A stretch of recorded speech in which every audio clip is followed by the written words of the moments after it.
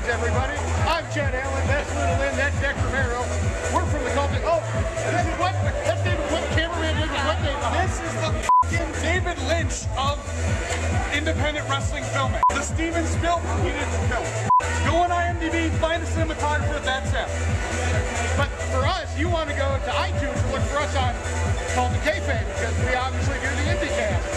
We just left an indie show This guy's gonna do a podcast with us one day. and probably he doesn't want a job anymore, he can shit on everybody. Uh, listen to our podcast every Thursday usually. Yeah, we only kind of suck, so it's pretty cool. Yeah! you can be one of the tens of tens. Tens of tens. There's